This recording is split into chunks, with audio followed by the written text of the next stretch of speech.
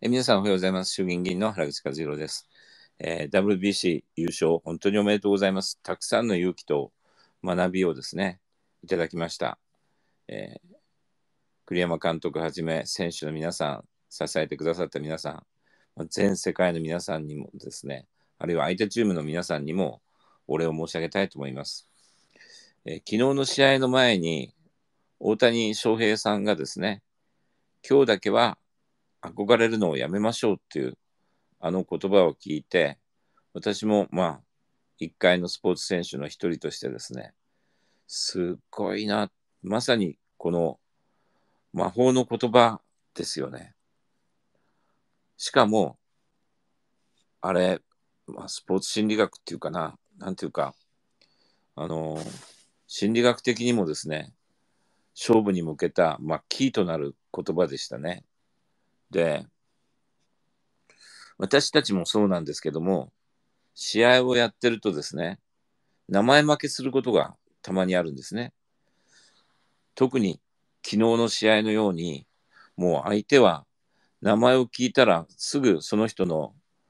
ファインプレーやホームランや、あるいは剛速球でキリキリ前させてる姿、あるいは、あの、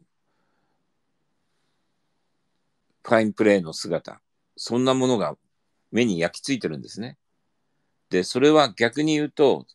試合の時には、侍ジャパンの選手の皆さんには、負の強化、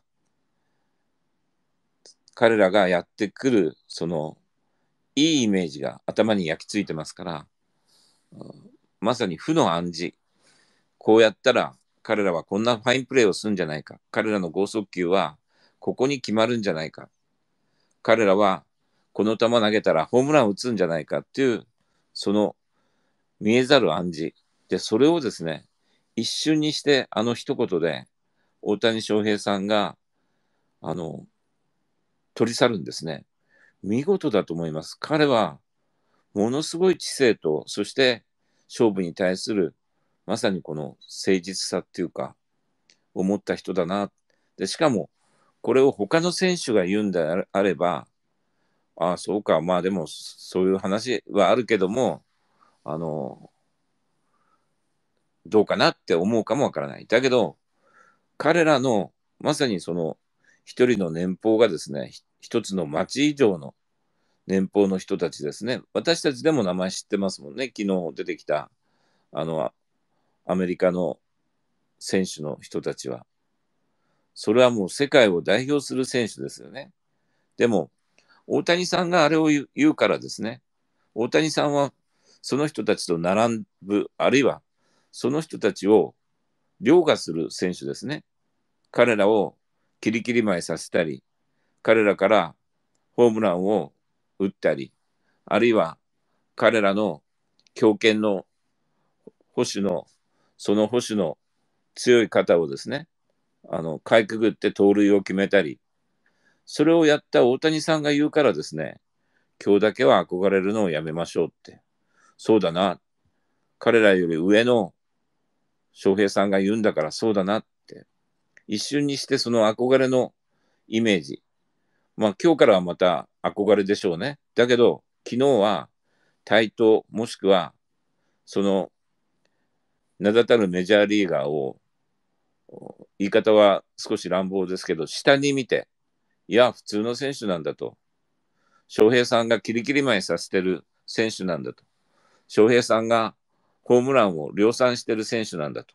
恐れることはないんだ。自分たちには翔平さんもついてるし、しかも信じて頑張ってきた仲間がいるんだと。あの栗山監督もすごいですよね。全然結果が出なかった村上選手をずっと信じて信じて使い続ける。で、その選手一人一人の力を知ってるからですね。で、またそれに見事に応える。どっかの大臣が苦しくなったら自分の部下をですね、あの、責める。それと真逆ですよね。